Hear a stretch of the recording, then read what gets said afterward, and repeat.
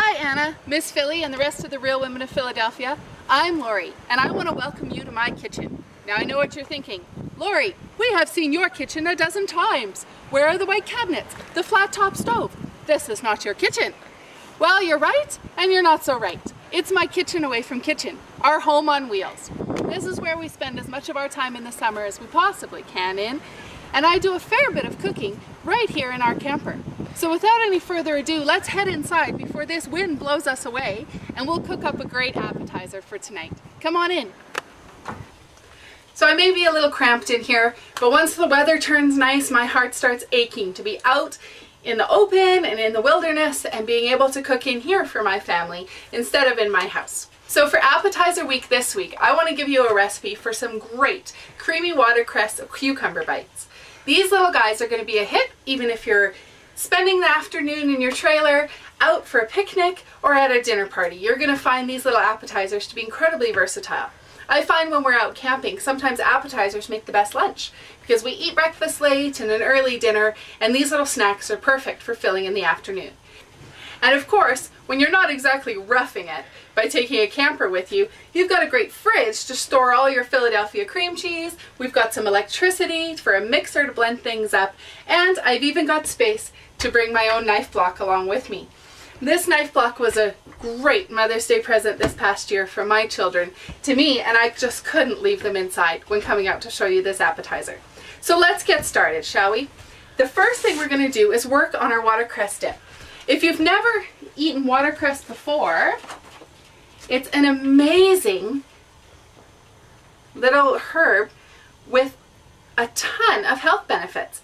They're fine little leaves that pack a whole lot of nutrition in these little guys.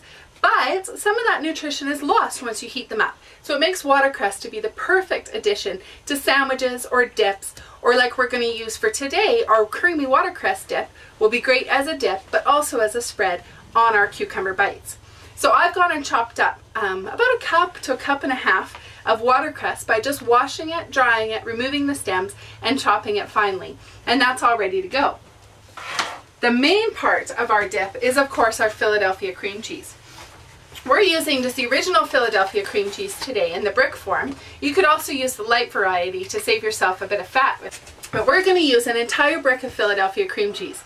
Now the benefit of a trailer is I have a little microwave. So instead of bringing my Philadelphia cream cheese to room temperature by taking it out early, I'm just going to set it on the microwave here for just about 20 seconds or so, 20 to 30 seconds to soften it up. Because if I was in my house, I'd use my food processor for this dip, but I don't have my food processor out here because it takes up a little bit too much room in my kitchen.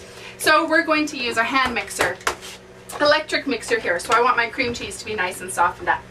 So along with one entire brick of Philadelphia cream cheese, I'm going to toss in about half a cup of sour cream into my mixing bowl and blend those together first. Putting the sour cream in as I blend the Philadelphia cream cheese makes it that much easier to get a smooth texture. Now we're going to use our creamy watercress dip um, for our cucumber bites and then I'm going to also use the rest as a veggie dip on a veggie tray. I find a creamy watercress dip to be excellent as a vegetable dip. It's something a little out of the ordinary. It's not your standard dill or your standard ranch, but it gives a whole lot of nutrition and a whole lot of flavor now with those blended up pretty well, I'm going to toss in my other ingredients to the dip. I'm going to throw in all my watercress. Again, that was about a cup to a cup and a half of finely chopped watercress. I'm going to throw in a teaspoon of lemon. Now, not too much lemon juice because the lemon can actually become a little bit overpowering and you do want to still be able to taste the watercress in there. A little bit of salt and pepper. And then I'm going to throw in about a quarter cup or so of, of Parmesan cheese. These are my camping salt and pepper shakers, so they're not nearly as, as reliable as my in-home ones. And just a tablespoon or so of chives or green onions. We'll finish this off. And then I'm going to mix that all together to get that all incorporated and nice and smooth. So now with an incredibly tasting and nutritious watercress dip ready to go, I'm going to set this in the fridge and we'll get going on our bread. You know, our bread is going to be the base of our uh, creamy watercress cucumber bites. So I've got a baguette that I've sliced up into about half inch wide pieces. Um, and then just saute them in my pan to toast them up on both sides. So coat one side and then flip them over to the other side until they're nice and toasted and crispy with about a quarter cup of butter and three cloves of garlic. This will make perfect little uh, bites of garlic bread on both sides, which will pack a lot of flavor but not be overpowering to our watercress. So once those are all done, we're ready for our cucumbers. Fresh cucumbers are in abundance at my house. Uh, we have a friend that operates some greenhouses just up the road from us and she always has an abundance of cucumbers to share with us.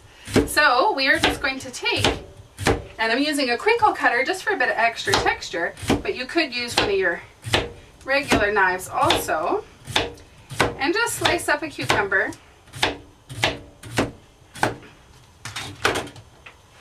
into little slices to set on top of your cucumber bites. Next thing we're going to do is assemble our little appetizers. So I have got my plate of all my little baguette pieces toasted up and ready to go. And just for fun, I'm using the things in my trailer to prepare my appetizer. So I've got my handy dandy plastic little spoons. We're going to spoon just a touch of our creamy watercress dip onto each of these little toasted baguettes. Now not too much because we don't want it to be squishy and messy because this is a finger food, um, but enough that you're going to get a lot of that flavor from the watercress and especially from the cream cheese because that's what's going to bring out the creaminess and the, make these appetizers absolutely delicious. Now that I've got my creamy watercress dip onto each of these baguette slices, I'm going to put a cucumber on each. But before I do that, I'm going to dip both sides of the cucumber in my grated Parmesan cheese. That'll make it a little less slippery. It'll stick to the dip all that much better. And we're going to top each one with half of a cherry tomato or a grape tomato. And that'll help that guy a little to stay put a little bit better also. Okay, now I've got a slice of Parmesan cucumber onto each of the baguette pieces and I'm just going to take a little grape tomato, slice him in half and put him cut side down, just sitting on top of each one. This will just add a little bit of color to your appetizer table and a little bit extra fresh flavor when you bite into these little guys. Okay, half a little tomato on each one little sprinkle of pepper on there. Of course, if I was in the house, I would use fresh ground pepper, but you use what you got when you're roughing it. So there you have it, a delicious appetizer starring your Philadelphia cream cheese that you can make up in even the most confined of kitchens. So I hope you enjoy it and keep cooking with the cream cheese and we'll see you back here again for the next time. Mmm making a mess. We're gonna try that one again.